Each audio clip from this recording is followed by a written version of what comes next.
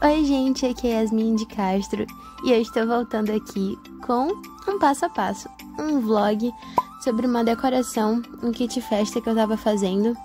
Perdão por não ter atualizado o canal esses dias, mas hoje eu voltei. Bom, hoje a gente vai fazer essa decoraçãozinha aqui. Lembrando que os cupcakes, essa massa, tem no canal, tá bom? Algumas das receitas já tem no canal e outras eu posso estar ensinando para vocês sem problema nenhum. E primeiro eu vou fazer as massas. Essa aqui é a massa manteigada, que tem no canal também, tá gravadinho, bonitinho, com todo o passo a passo e os ingredientes para vocês. E eu vou dividir aqui em duas formas, tá bom? Coloquei papel manteiga, as duas formas são de 23 centímetros e eu vou dividir elas depois ao meio. Vou levar para assar e elas levam em média uns 45 minutos para assar em potência de 180 a 200 graus. Elas são bem amanteigadas, bem fofinhas, tá bom? Aqui, enquanto nesse dia que eu tinha essa encomenda, eu tinha que fazer palha italiana também. Se vocês quiserem, posso deixar essa receita no canal. São bem simples, eu fiz tanto de chocolate quanto de doce de leite, tá bom? Essa receita de doce de leite não leva doce de leite, tá bom? É um diferente. E fica com um sabor só seu, né? Você que vai dosar o tanto que vai ficar aqui. Até a cor a gente pode ficar dosando, tá certo? Passei no leitinho e embrulhei em uns pacotinhos. Aqui é como ela fica por dentro, fica muito bonita. As duas ficam bem gostosas, não fica muito doce.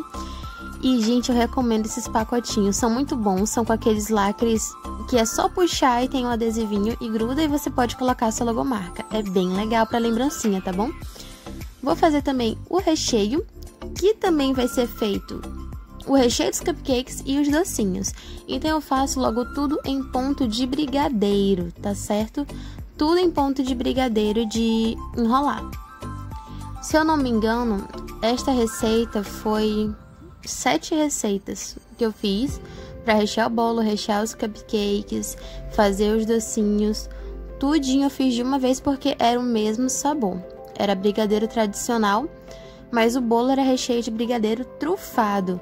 Então depois eu adicionei o ganache, tá? No brigadeiro para fazer recheio para deixar ele um ponto mais mole. Assim como também no recheio dos cupcakes. Eles foram de brigadeiro trufado. A receita de brigadeiro é bem simples. É apenas uma lata de leite condensado, duas colheres ou três de cacau, depende do que o seu cliente quer, e uma colher de trigo. Eu tô colocando trigo por quê? Porque eu sinto que ele rende mais, e não só por render, pela consistência, eu acho que fica bem mais cremoso até o de enrolar. Eu boto um pouco, tá? Sempre faço desse jeito e fica muito bom. O cacau varia. Eu tô usando 100%, lembrando que cacau sempre vai ser 100%. Chocolate que vai ter a medida do tanto de cacau. Chegou no ponto que eu quero, ó, já está desgrudando lá do meio. E então eu vou retirar e vou dividir. Tô dividindo aqui tanto para as minhas bolinhas, né, fazer os brigadeiros, que ele já está no ponto de enrolar, quanto para recheio, que eu vou colocar agora nessa maior.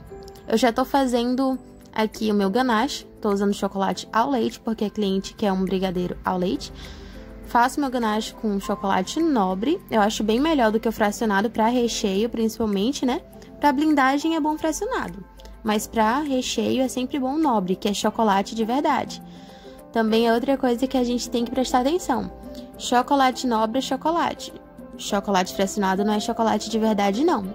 É só um outro tipo de gordura vegetal. Vou rechear aqui meus cupcakes, fiz só um furinho. Eu não aproveito aquela tampinha ali não, porque o meu próprio recheio vai virar uma colinha para minha pasta americana que vai vir em cima.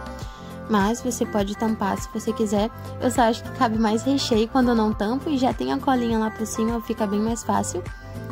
E esse brigadeiro, quando você já coloca o chocolate, principalmente se for fracionado que você for usar, é a sua escolha, ele vai criar uma casquinha mais rápido do que o normal, tá bom? Por ter chocolate. Vou pegar meu acetato, vou dividir minhas massinhas também, né? Eu sempre gosto de usar acetato quando não tem uma forma alta. Coloco o plástico por dentro, fica bem mais fácil de tirar e vou montar meu bolo. Primeiro eu tenho que dividir, né? Eu gosto de tirar aquela películazinha de cima, tá? Mas não é tão necessário, não vai ser fazer uma grande diferença assim para você na hora de comer. Não vai. Na hora de montar fica bem mais fácil porque não fica grudando na sua mão. E é, sempre ele absorve melhor a calda quando tá assim essa películazinha. Lembrando que essa massa manteigada tá no canal já, essa receita. Olha como ela fica fofinha. Parece ter tão gostosa. eu vou dividir, eu gosto de utilizar esse utensílio, mas dá pra você dividir na faca também. Só pra mostrar como ficam os discos, ó. Não ficam tão finos, mas também não tão grossinhos. Fica bem legal para quando o cliente for tirar a fatia. E eu vou começar a montar. Eu sempre uso o fundo das massas para tanto para o início quanto para o último disco de massa.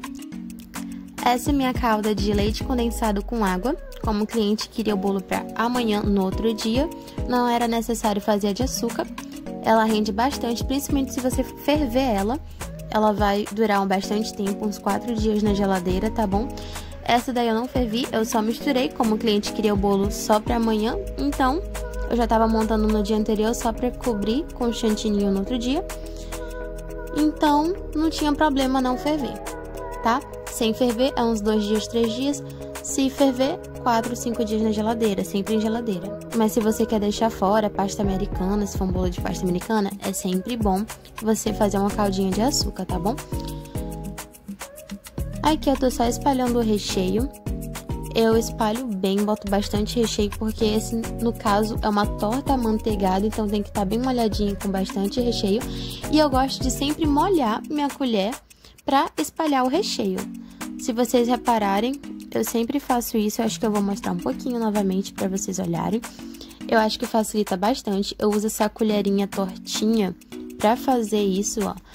E depois de colocar o recheio, eu amoleci ele um pouco no micro-ondas para ficar mais molinho. Eu molho minha colher e passo. Perdoe a câmera nesse momento aqui baixou um pouco, mas dá para vocês entenderem. Eu sempre coloco o recheio, molho a colher para espalhar e fica bem mais fácil, tá bom? E agora vai ser o nosso último disco. Eu sempre coloco a parte de baixo da massa por último, tá? Tanto no início quanto no final. São as duas partes. E dou só uma molhadinha. E lembra de puxar esse saco que fica ao redor do bolo, porque senão ele pode ficar entre as camadas de recheio. E quando você for tirar, não é legal. Eu errava muito isso no início e às vezes tirava um pedaço do bolo com recheio e tudo. Então lembra de você puxar toda a beiradinha dele, tá bom? Senão ele pode ficar entre as suas camadas de recheio. Se tiver no acetato, fica bem fácil de você conferir se não tem nenhum saco por dentro do recheio. E olha essas camadas, bastante recheio e fica bem legal. Então, Agora vamos para outra coisa. Vamos pro docinho. Eu tô usando aqui manteiga para enrolar os docinhos. Estou pesando, eu uso 15 gramas para cada docinho. Você pode também utilizar para modelar docinho água e desmoldante. Eu gosto da manteiga ou do desmoldante. Por que, que eu não gosto muito da água? Quando eu tô fazendo o docinho molhando minha mão com água e enrolando, eu não gosto porque fica tipo um pouco mais mole a parte de trás do docinho. E esse granulado que eu uso, ele é feito de chocolate nobre, não é de açúcar, é um granulado feito de chocolate. Então, quando ele entra em contato com a água, isso tudo não fica tão legal o acabamento do docinho, tá bom? Eu gosto de bolear duas vezes, tanto para fazer a bolinha, né? Fazer o brigadeiro, a bolinha e também depois com o granulado. Esse granulado é muito bom, são os quadradinhos bem legais, eu acho tão bonitinho. E é ao leite. Tem tanto ao leite quanto meio amargo. Eu posso deixar o nome aqui do granulado que vende aqui na minha cidade e ele é muito bom. Vou já organizar aqui, mas eu ainda não finalizei eles. Eu vou colocar alguma coisinha para dar o toque com o tema, tá? Do bolo. E foi esse tantinho de docinho, se não me engano foi 25. Faz um tempinho que eu já fiz essa encomenda. E aqui eu tô fazendo uma massinha para um mini bolinho de Dia das Mães. Era época Dia das Mães, então não faz só um tempinho, faz um tempão, né? Que eu fiz essa encomenda. E essa é uma massinha de pão de ló colorida, tá bom? É uma massinha bem rápida para se fazer, fica bem fofinha. Ela leva fermento, é um pão de ló amanteigado. Eu também posso ensinar depois aqui se quiserem. Ela é bem gostosinha. E eu tô fazendo aqui em formas de 12 centímetros. E essa massinha, os restinhos dela, a gente vai utilizar na decoração dos cupcakes, que vai ser uma ideia legal para tema de fundo do mar, tá bom? Agora, para amanhã, eu tenho que terminar a decoração do bolo. Aqui eu estou utilizando chocolate de modelar. Depois eu vou mostrar um vídeo de como fazer essas caldas de sereias de chocolate passo a passo mais de pertinho. Um vídeo só para isso, senão esse aqui vai ficar muito longo. Mas ela é bem facinha de fazer na mão, sem molde. Eu vou botar depois desse. E então é só utilizar o chocolate de modelar. Esse aqui é o branco, tá? O chocolate branco e é fracionado porque ele fica bem durinho, bem facinho de você deixar no bolo despreocupado ele cair. Não vai cair de jeito nenhum, tá bom? Eu tô só ajeitando aqui a calda, dando aquele aspecto de escama. Fica bem legal para você fazer várias outras decorações. Mas lembrando, né, que nem pasta americana é um pouco mais difícil de trabalhar e eu uso só para algumas coisas. Tem pessoas que são especialistas nesse tipo de decoração com chocolate de modelar. Eu não sou. Eu uso só em alguns casos quando eu tenho chantilly, tá bom? E eu não queria usar topo de bolo, eu queria deixar uma coisa mais real. Então, eu fiz esse tipo de coisa, tá certo? Esses detalhezinhos de como fazer eu vou passar para de vocês depois com outro vídeo. Assim como fazer a receita, como modelar, como trabalhar, como você deve mexer. Para tirar nesse caso, tive de utilizar o fundo de uma forma, só para tirar dali, mas olha como fica bem legalzinha. A gente ainda vai colorir ela e deixar várias cores diferentes, com glitter, bem místico, bem fundo do mar e sereia. Enquanto isso, eu tô só fazendo umas algas, uns corais de chocolate fracionado mesmo. E tem umas forminhas para chocolate. Tem tanto de conchinha, quanto de cavalo marinho, golfinho, é, essas coisas do fundo do mar que era para completar o cenário do bolo. E eu acho bem legal pra chantilly você sempre apostar nessas forminhas de chocolate que sempre te ajudam nessas horas que você precisa. E hoje em dia é tanta variedade que tem dessas forminhas, então eu acho bem legal você investir nisso para sempre que precisar ter esse tipo de decoração. Lembrando que quando você utiliza chocolate, você tem que bater um pouquinho para poder não ficar de dentro, tá bom? E é sempre bom aplicar em saquinhos, quando você tem um molde bem pequenininho como aqui, eu tenho essas conchinhas, esses detalhezinhos, é sempre bom você colocar em molde ao invés de só jogar, tá certo? Para evitar ficar bolhas de ar. Eu sinto que fica um trabalho bem mais bem acabadinho quando a gente faz desse jeito. Eu tô aqui com a forma de conchinha. Nesse dia eu não tinha achado pedaço de silicone. Os silicones que vão entre essas duas placas de plástico e eu botei mesmo assim e não é que saiu foi um pouco mais difícil. Algumas quebraram, mas eu vou acabar utilizando, que vai dar uma bem legal, ó. Depois, quando a gente pintar, fica bem legal. Parece que são conchinhas mesmo do Max, são até quebradinhas na ponta. E olha como ficaram tudinho aqui antes de eu finalizar. Os cupcakes eu já coloquei um pedaço de pasta americana com uma textura. Eu só passei em uma placa que é feita para chocolate. E coloquei a pasta americana, as conchinhas e umas pérolas feitas de chocobol. Aqui eu tô só finalizando. Finalizando não, né? Tô no meio do processo dos meus bolinhos, do mini bolinho. E a gente vai utilizar essa massinha para fazer uma coisinha bem legal nos cupcakes. Olha como ficou esse mini bolinho. Era de ninha benta de ninho, com recheio de brigadeiro ao leite trufado também.